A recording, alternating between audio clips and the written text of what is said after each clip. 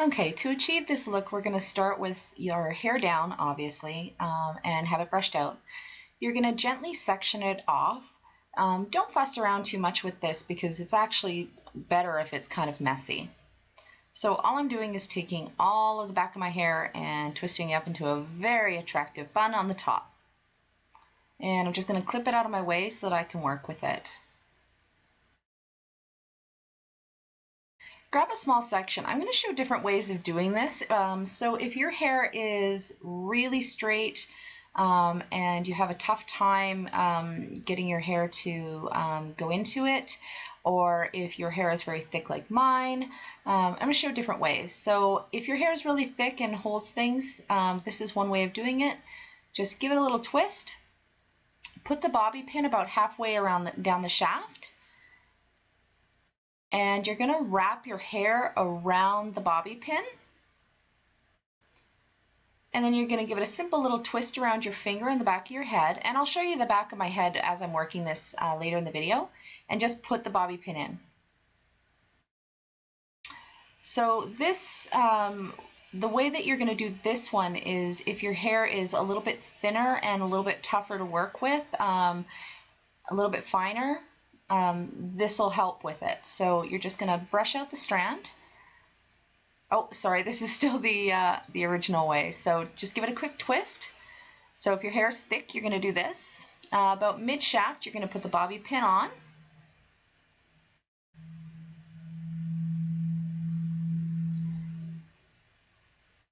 And then wrap your hair around the bobby pin. And with what's left over, you're going to wrap it around your finger and just put it into a little messy rosette shape on the side of your head. And that's it. The key to this is messy is better. It works out so well. So if your hair is thin uh, and poker straight, this is a way of doing it. So you're going to separate it into two sections and just twist it around each other until you get pretty close to the bottom. Once you're at the bottom of your hair, hold a strand, and with your other hand, you're going to push it up. And what this does is kind of teases and gives it a rough texture, but it'll make it easier for your hair to hold the bobby pin. Now you're not going to attach the bobby pin to this one uh, in the mid shaft like I did with the other. You're going to um, wrap it around your finger as is and then pin it and then secure it afterwards. So again, just twist them around each other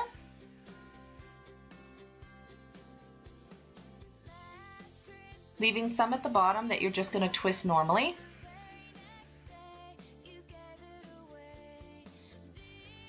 Hold a strand at the bottom and then just pull up and just make it nice and loose and messy. And then you're going to wrap it around your head just like you did uh, with the thick hairstyle and grab a bobby pin to secure it. Now this is the way I'm doing it for my own hair because my hair holds this style really well. So I'm just going to brush out a strand and give it a quick little tease. Twist it. No bobby pin at the shaft. And I'm going to wrap it around itself. I'm starting in the middle of my hair so that I can get a more symmetrical look at the end. You do want some bits and pieces of your hair sticking out, like the ends. Um, it's not meant to be a polished look. This is a much more fun look, um, kind of upstated glam, um, which is really great because you can't mess it up. Um, the messier, the better.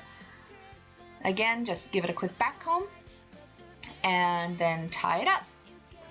Pin it with the um, bobby pin uh, to secure I'm just using regular colored bobby pins uh, that match my hair color. You will see them a little bit if the light hits it the right way, but don't fuss too much. Um, just leave it as it is. Another strand, back comb it, give it a little twist, wrap, and pin.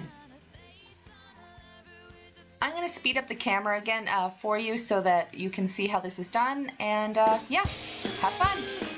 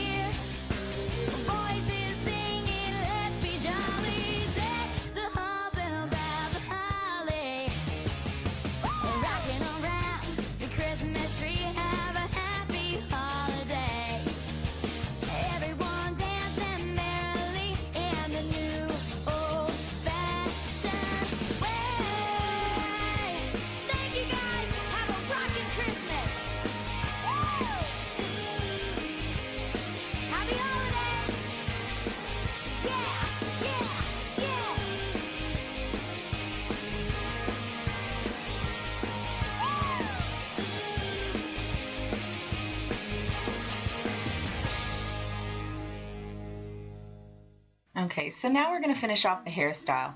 Simple as can be, just give it a good little spray. Um, I spray the back quite a bit um, to help keep the bobby pins in place. Um, you're just going to, um, all I did on the top was just give it a light tease and then I pinned it back so that I had a little bit of uh, a, a, puff going on. And then you're just going to smooth out back any um, flyaways that you have and make the front look fairly well put together. So fairly smooth because you got so much going on in the back, don't need it in the front. I'm going to show you some cute ways to finish off this hairstyle. Um, you could leave it like this, but I like to finish it off with a few other things. So um, I'm just going to pin the sides of my hair because I have some fine baby hair that comes out. Um, so I just pin that to make sure that it stays polished in the front and very sleek. Um, play around with it the best you can. If your hair's a little bit shorter, you may have to use a few more bobby pins, but I find that um, I end up using um, other things to make it look pretty. So this is the first way. You can just leave it if you like it this way. Um, that's the back of the hair. Like I said, it's supposed to be really twisted and, and kind of a messy look. Um, the first way of finishing it off is with a cute headband. Um, this one's just a sparkly bow. It's great for fun little get-togethers. Um, this next one's a more refined. It's a flower bow. Um, this is my favorite way of finishing these off. It's just one of those little flower clips um, that you can get from Ardene or Claire's. And I just place it in, especially if I have a hole in the hair design that I've done. The flower covers it beautifully and gives more interest to the hairstyle. So that's my favorite way of finishing one of these off.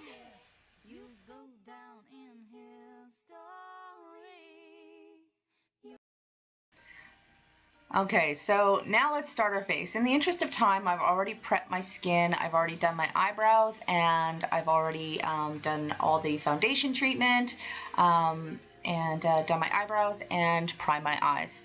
So I'm going to start with the uh, NYX Jumbo Pencil in Milk. So this is just a creamy white pencil. I'm going to put that all over the bottom of my lid and into the corner of my eye. I'm going to be using a white eyeshadow and I find using the NYX Jumbo Pencil really helps the color pop and stay in place, especially since the white I'm using is very sparkly and it helps um, alleviate some of the fallout. So once I sponge, uh, once I get that sponged on, mm-hmm, once I get that drawn on, I'm just going to use my ring finger. So use your ring finger because it's the gentlest touch um, and just gently blend that into your bottom lid and the corner of your eye.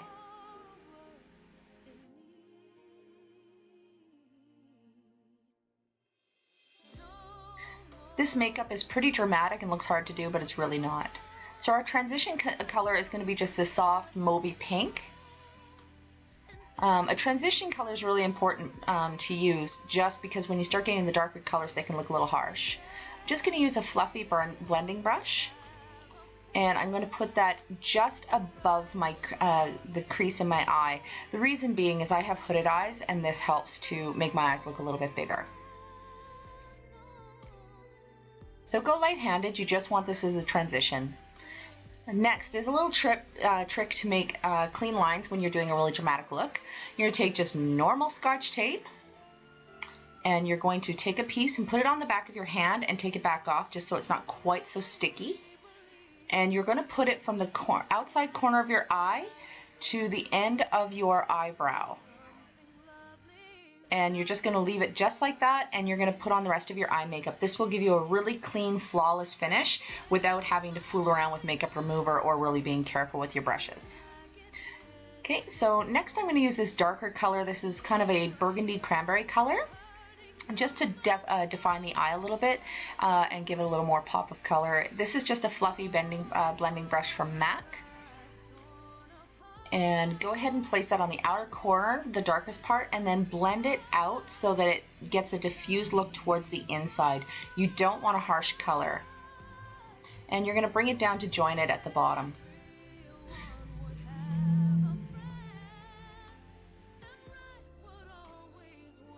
I love this kind of color for the holiday seasons. Cranberries and reds always make me think of Christmas, so this is one of my favorite ones.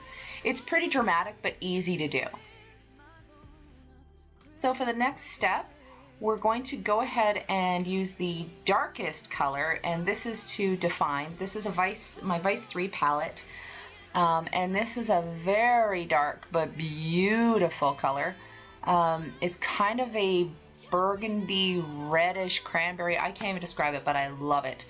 I'm going to concentrate this on the outer corner and the inside of my crease um, quite heavily, and that's to give that sharp definition that we're looking for. Again, a small eyeshadow blending brush. And I'm going to start off by just doing a circle in the corner of my eye so that I can drag the product into the crease of my eye. This again is going to give the illusion of depth. Um, it's not going to interfere with the transition colors and it's going to make my eyes look bigger. Um, to highlight, I'm going to use Walk of Shame from my Naked palette um, to highlight my brow bone. And I'm going to use Polyester Bride. This is a very sparkly white uh, on my eyelids and in the inner tear ducts of my eyes. Now when you're using a shadow like this, you want to pat it on or pack it on. You don't want to sweep your brush because that's how you get fallout and you're just going to get frustrated. It's not going to have the true color payoff. I absolutely love this. This is also a lazy way of doing uh, a technique called a cut crease.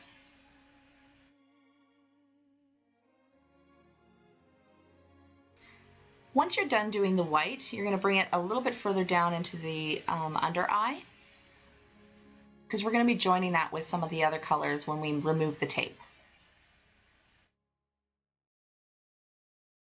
Okay, the tape is off, hooray!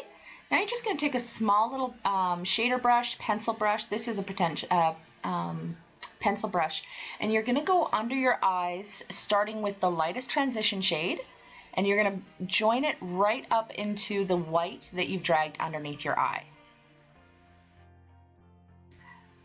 After you're done doing uh, with the transition color, you're going to go back in with the next color, which is uh, the cranberry color, and you're going to darken that up a little bit. You're going to see me blinking a lot. I managed to flick it and get powder in my eye, which is kind of annoying, but it happens. Um, and now I'm going in with the darkest color that we have, uh, that we used in the um, crease and just puff it right out. Now I'm gonna, oh, still doing the darkest color. Sorry, I thought I already did it.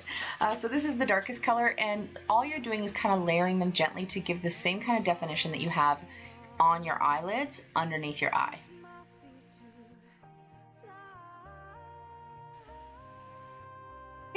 And now I'm just doing a simple black liner. Um, I'm going to do this fairly dark. Um, I haven't sped up the camera. People seem to think that I'm a wizard because I do this really quickly. I don't know, I'm just really good with liquid liner. Now I'm going to use a normal black eyeliner pencil and I'm going to uh, use my blending uh, sponge, Beauty Blender, and I'm going to pull down on my eye and I'm going to tightline my waterline with the black.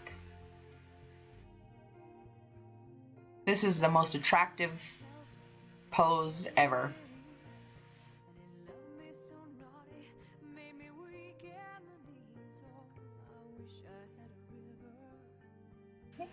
Now that I finished um, lining my under eyes, I'm going to go in with my um, Too Faced Better Than Sex mascara. Again, I'm not using false lashes because I wanted to keep it relatively simple for people and I find um, false eyelashes can be intimidating. Um, and this mascara is the bomb. It is amazing. Um, I would definitely, if I was doing this look to go out, I would definitely use false lashes, but if you're not comfortable using them, a good mascara like this will do the trick for you.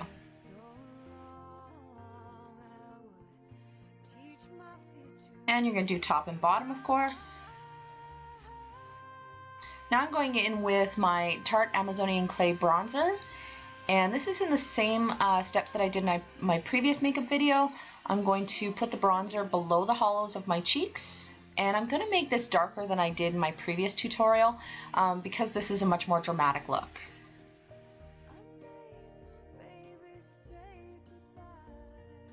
Again, I'm doing it in the same three shape to do a lazy contour.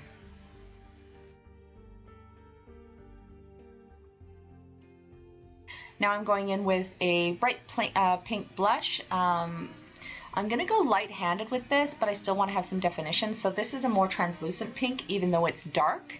Um, I don't want to um, do too much since the eyes are so dramatic. I'm not a big fan of having dramatic eyes and lips in the same look. I like to have it changed up.